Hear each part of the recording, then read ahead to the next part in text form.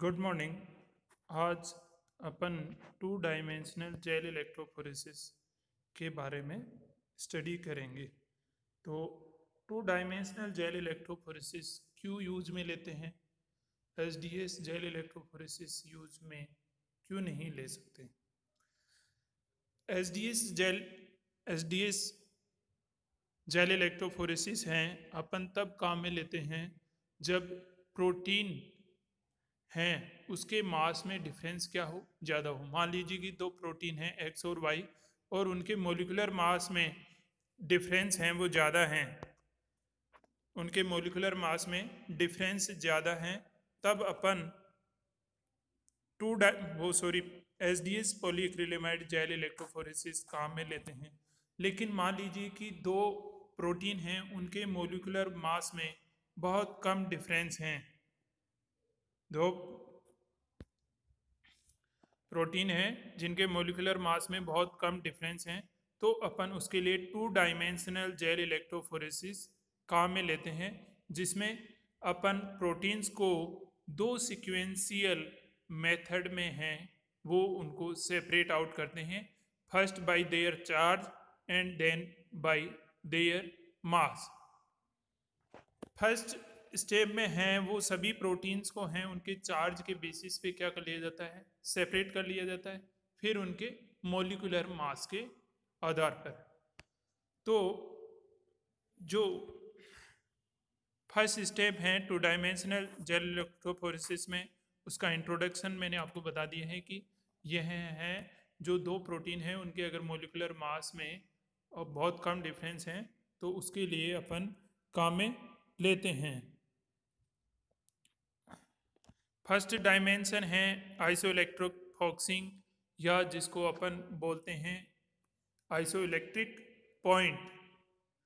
Iso electric focusing में क्या होता है कि जो आपका प्रोटीन है, उसमें सभी प्रोटीन्स को अपन एक हाई कंसंट्रेशन डीनेचुरेटिंग एजेंट के लेकर के सभी प्रोटीन्स को क्या कर लिया जाता है? डीनेचर और डीनेचरिंग एजेंट के रूप में अपन काम में लेते हैं यूरिया, जिसकी कंसंट्रेशन होती है एट मॉलर कंसंट्रेशन का।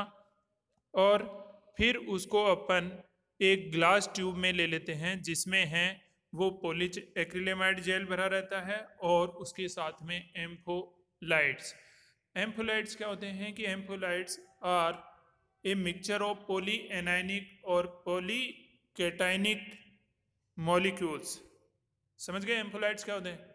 Ampholytes are mixture of polyanionic और polycationic molecules in which negative as well as positive charge is present तो for the separation of protein on the basis of their charge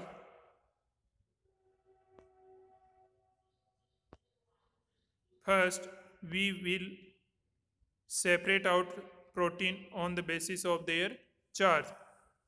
तो charge में मैंने आपको बता दिया कि आइसो इलेक्ट्रिक फोर्सिंग में सभी प्रोटीन्स को सबसे पहले क्या कर लिया जाता है? डीनेचर कर लिया जाता है, किसमें? एटमोलर कंसंट्रेशन यूरिया में।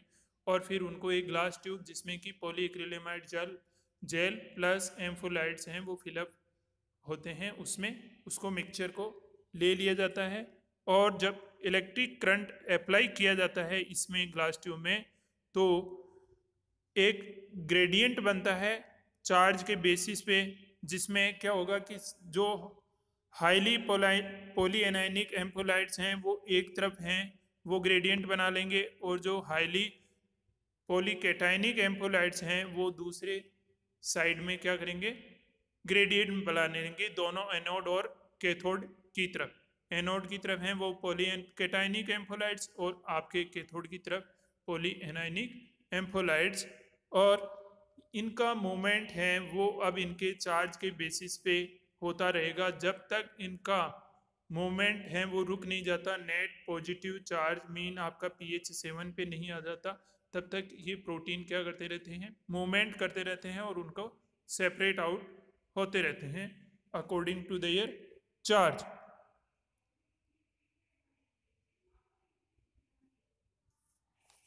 फिर सेकेंड स्टेज में है अपन इन प्रोटीन्स को अब आइसो इलेक्ट्रिक फॉक्सिंग के आधार पर सेपरेट करने के बाद में अपन इनको दूसरी डायमेंशनल जो कि इनके मास के बेसिस पे होती है मोलिकुलर मास उसके लिए अपन इस जो आइसो इलेक्ट्रिक फॉक्सिंग जेल पे जो सेपरेटेड हैं प्रोटीन्स उनको अब एज इट इज़ अपन जो पॉलीक्रिलेमाइड जेल हैं एस डी एस उस पे अपन क्या कर देते हैं ट्रांसफ़र कर देते हैं और ट्रांसफ़र करने के बाद में अपन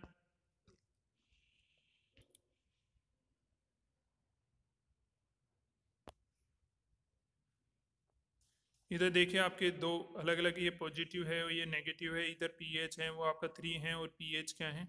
टेन है। और फिर अपन इसमें जो सेकंड फ़ेज़ होती है एसडीएस पेज में, वो एसडीएस पेज है, वो अब इनका चार्ज है, वो सील्ड आउट कर देगा और सभी प्रोटीन पे क्या हो जाएगा नेगेटिव चार्ज हो जाएगा और अब प्रोटीन है, वो ओनली किसके बेसिस पे सेपरेट आउट होगी? उनके मास के आधार पर।